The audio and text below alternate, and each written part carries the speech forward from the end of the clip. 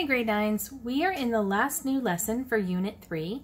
We're on day 6 and we're going to talk about some more strategies for solving kind of more complex application questions by setting up an equation for them. I'm going to go through a couple examples. So the first one is just a warm up and this is again, we really want to practice and be sure that we're really comfortable with solving equations involving fractions. So I'm going to look at this equation. I have 1 half x plus 3 quarters equals x, and I'm going to maybe make that a 1x just to kind of remind myself that I've got a coefficient there, minus 1 half. Now looking at my denominators, I know that my lowest common denominator is 4. So I'm going to go through and multiply each term here by the lowest common denominator. So I'm going to take that lowest common denominator of 4 and multiply each piece of my equation times 4. And then I can reduce and that will eliminate all of the fractions. So here when I'm doing my reducing, 4 over 2 reduces to 2. 4 over 4 reduces to 1. This one was just an over 1, so it doesn't reduce at all. And then 4 over 2 reduces to 2. I would very, very much encourage you to write out this next step.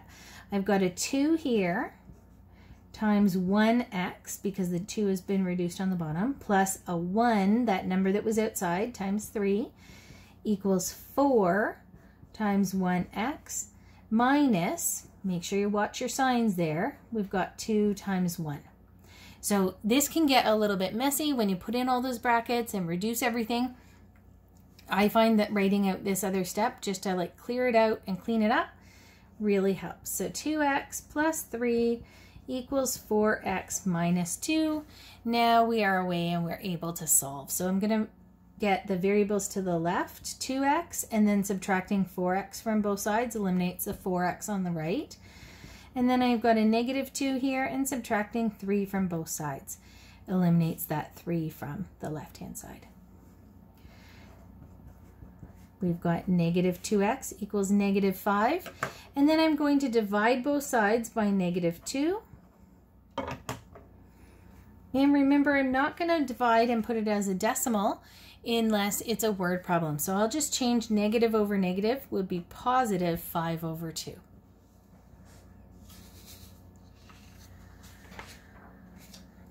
The next example, we have an application type question. So again, we've got um, some measurement with our um, perimeter and we've got two different shapes. So the square has a side length of 3K and the equilateral triangle has a side length of 2K plus 1. And it says that they have the same perimeter. So the perimeter of the square and the perimeter of the triangle are going to be equal. So we know that the perimeter of the square is 4 times 3k because it's got four sides that are all 3k and the perimeter of the triangle is 3 times 2k plus 1. But it says that this perimeter equals this perimeter. So that's going to be my equation. So I know that 4 times 3k equals 3 times 2k plus 1. And I'm going to go through and solve. Make sure that you're careful when you're multiplying those monomials in. So on the left, I get 12k. On the right, I get 6k plus 3. So not just plus 1. And now I'm going to get variables to the left. So I get 12k minus 6k equals 3. 12k minus 6k is 6k equals 3 and then divide both sides by 6. k equals, now this is a word problem. So here I'm going to make this 0 0.5. Um, it doesn't say centimeters or meters, so it's just 0 0.5 units. Okay, so instead of doing 1 half, if it's a word problem, I would go into decimals. So that's not the end. K equals 0.5 is not the answer to the question because we have to look at what it is asking. It says, what are the dimensions of each figure? So we're going to go back and the square, 3k, if k is 0 0.5, 3 times 0 0.5 is 1.5. And the triangle is 2k plus 1.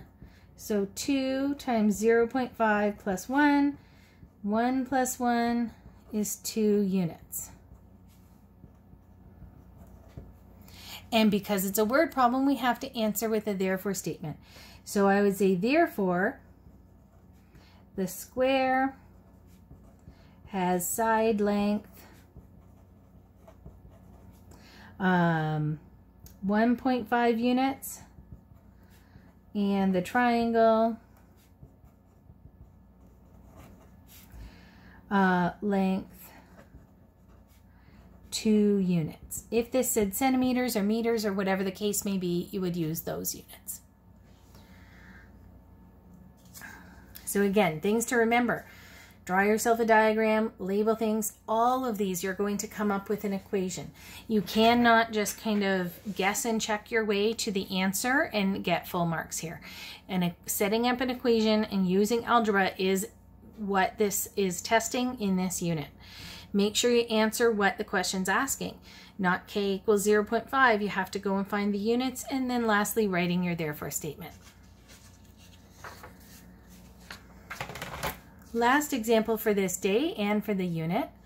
Um, this is a kind of tricky word problem, and we're going to kind of talk our way through it. Um, it says it takes Ryan two hours to mow the lawn and water the garden, and it takes Maria three hours to do the same job. How long would it take them if they worked together?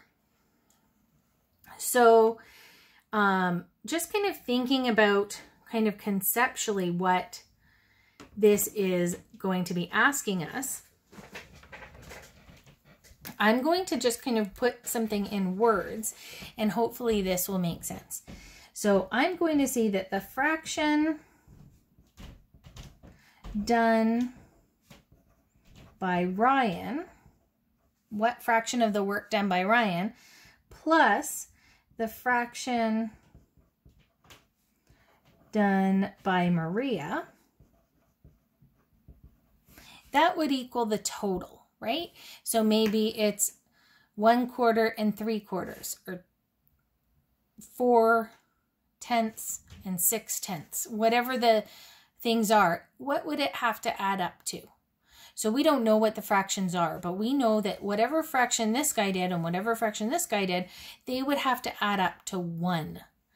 So they have to equal 1 because the two parts equal the total amount of the job. So the total job is like 10 tenths or 6 sixths, whatever it is. So then we want to say how much of the work would Ryan do and how much of the work would Maria do.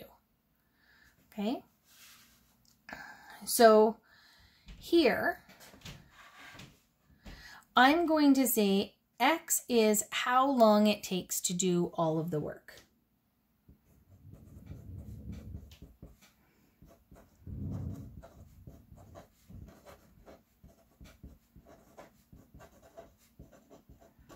So X is the amount of time it takes to do all of the work when they're working together. Now, Ryan normally takes two hours, and Maria usually takes three hours if they're working by themselves. Okay. So, how much of the work they do is going to be the total amount of time divided by how much of the time it would take them to do it themselves. So we know that normally the, so let's write this out for Ryan.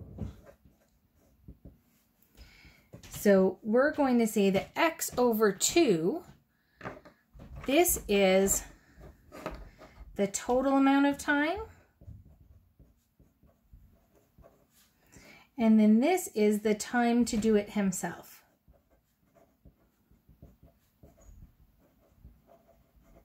So this gives us a fraction because if he was doing all of the work himself, the total time would be two because Maria would be doing none. Okay, so it would be two hours divided by the two hours. That would be do, him doing 100% of the work. And for Maria, we're going to say that she's going to do x over 3, which again is the total time um, that they take together divided by how much time she would take to do the work herself. Okay, so, and again, if she worked, it would take her a total of three hours if uh, Ryan wasn't helping at all. So here we've got the fraction of work that Ryan will do and the fraction of work that Maria will do. So we can write an equation, x over 2 plus x over 3 equals 1. So here we got, we've got a way of figuring out what the total amount of time is. So it's how much of the work gets done by Ryan plus how much gets done by Maria. That has to equal 1. Now we have an equation that we can solve. So I'm going to take this equation and multiply by the lowest common denominator, which is 6. So I'm going to multiply each piece of this by that 6. And then we'll look at the reducing. So here, 6 over 2 reduces to 3. 6 over 3 reduces to 2. And there we didn't have anything to reduce. So we've got 3x plus 2x equals 6. 5x equals 6, and then we'll divide by 5.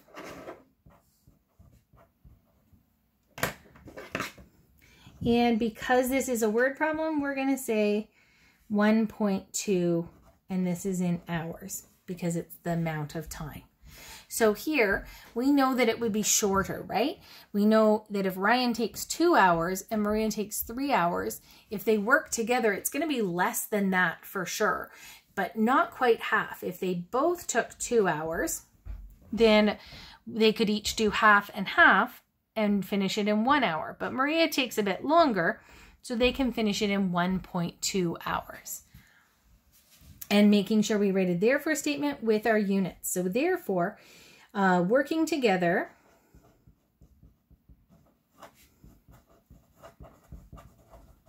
they would take 1.2 hours. So they're going to take less time if they work together. And we can figure that out by figuring the fraction of work that each person would complete and making sure that those two fractions have to add up to 1. You could do a check also. You could put a 1.2 into your calculator. Uh, maybe show that step here. So if I did 1.2 divided by 2 plus 1.2 divided by 3, I end up with a 1. So that's good. 1.2 over 2 plus 1.2 over 3 ends up equaling 1. But again, of course, you do have to show the work of solving the equation for all of these problems. That is it for Unit 3. Um, there is a day 7, which is some review, but there's not a new video lesson for that. And then after that, we're going to be moving on to some graphing and linear relationships in Unit 4.